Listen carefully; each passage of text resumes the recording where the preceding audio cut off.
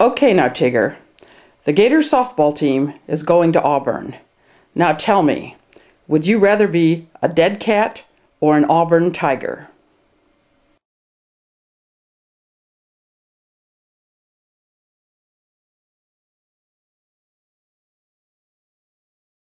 Tigger, would you repeat that for me one more time, please?